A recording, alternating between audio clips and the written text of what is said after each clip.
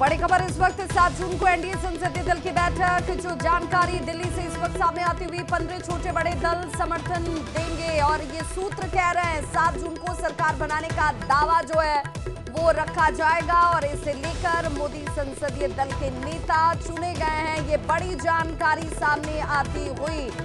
तो प्रधानमंत्री आवास पर बैठक खत्म हो चुकी है। और ऐसे में जो बड़ी जानकारी सामने आ रही है, सात जून को पाँच बजे एनडीए नेताओं को बुलाया गया है। पंद्रह छोटे बड़े दल समर्थन देंगे राष्ट्रपति। भवन से शाम पाँच से सात बजे का जो वक्त है, वो बताया जा रहा है। दिया गया है, एनडीए ने नरेंद्र मोदी को सर्वसम्मति से नेता चुना है। राष्ट्रपति से मिलेंगे एनडीए के सभी सहयोगी दल, जो बड़ी खबर सामने आ रही है। इस वक्त एनडीए नेताओं को बुलाया गया है। जी हाँ ये एक्सक्लूसिव तस्वीरें उस बैठक की, जो बैठक खत्म हो चुकी है।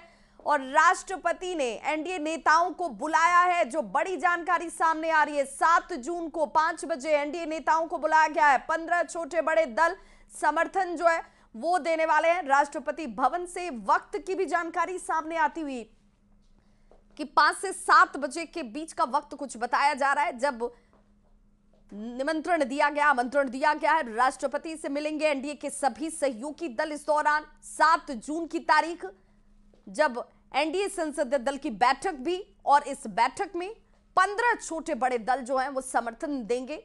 हालाँकि ये समर्थन एक तरीके से सभी दलों की तरफ़ से दे दिया गया है, लेकिन जिस प्रक्रिया की बात होती है उस प्रक्रिया के तहत ये माना जा रहा है कि सात जून को ये तारीख जब एनडीए की तरफ़ से हालाँकि मोदी को संसदीय दल का नेता चुन लिया गया है और जो तारीख तय कर दी गई है वो सात जून की है जब एनडीए संसदीय दल की बैठक होगी और उस बैठक के बाद जो बड़ी जानकारी सामने आ रही है, नई सरकार को लेकर सबसे बड़ी खबर इस वक्त तक की अपने दर्शकों को बता दें, नई सरकार को लेकर सबसे बड़ी खबर जहाँ सरकार बनाने की कवायद एक तरफ़ बेहद तेज हो चुकी है, सात जून को एनडीए संसदीय दल की बैठक और एनडीए ने मोदी को अपना संसदीय दल का नेता भी चुन लिया है। सुबह ग्यारह बजे एनडीए संसदीय दल की बैठक होगी। और हमारे साथ इस वक्त दिल्ली संवाददाता पवन गौड़ जुड़ चुके हैं। पवन, एक बड़ी जानकारी और बड़ी तेज़ी से राजनीतिक घटनाक्रम बदलता हुआ भी अब ये कहा जा रहा है कि सात जून को सुबह ग्यारह बजे संसदीय दल की बैठक होगी।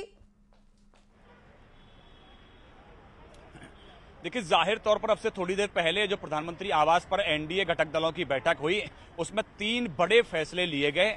सबसे पहला फैसला जो था कि सभी जो घटक दल हैं, उन्होंने अपना समर्थन पत्र जो है बीजेपी अध्यक्ष जेपी नड्डा को सौंपा कि वो एनडीए के साथ, एनडीए घटक दल सब एक साथ हैं और प्रधानमंत्री नरेंद्र मोदी के नेतृत्व में वो सरकार बनाने को सब, फिर से तैयार हैं। दूसरा जो था, वो सभी एनडीए घटक दलों ने प्रधानमंत्री नरेंद्र मोदी को सर्वसम्मति से अपना नेता चुन लिया है। ये भी इस बैठक के अंदर हुआ। और तीसरी बात जो है, वो एनडीए घटक दलों के साथ में जो है बीजेपी से तीन बड़े नेता जो हैं, वो बातचीत करेंगे किस तरह से घटक दलों के जो दल हैं, उनको शामिल किया जाएगा, किस तरह से एकोमोडेट किया जाएगा। उसमें बीजेपी अध्यक्ष जेपी नड्डा, गृह मंत्री अमित शाह, रक्षा मंत्री राजनाथ सिंह जो है, वो बीजेपी की तरफ़ से तमाम घटक दलों के सहयोगियों के साथ बातचीत करेंगे निगोशिएशन करेंगे, चाहे वो जेडीयू की बात हो टीडीपी की बात हो एलजेपी की बात हो, हम की बात हो आरएलडी की बात हो अपना दल एस की बात हो, कि किस पार्टी को कौन कौन सा मंत्रालय मिलना है, कितनी कैबिनेट सीटें मिलनी है, कितने राज्य मंत्री बनने हैं, किस पार्टी को और कहाँ एकोमोडेट किया जा सकता है तो उन सब विषयों को लेकर ये तीन बड़े नेता बीजेपी के जो हैं, वो तमाम सहयोगियों के साथ बातचीत करेंगे। उसके बाद में सात जून को सुबह ग्यारह बजे पहले बीजेपी संसदीय दल की बैठक होगी। उसमें प्रधानमंत्री नरेंद्र मोदी को बीजेपी संसदीय दल का नेता चुना जाएगा।